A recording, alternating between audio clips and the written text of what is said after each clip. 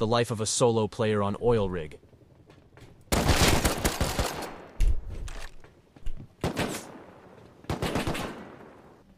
Fuck.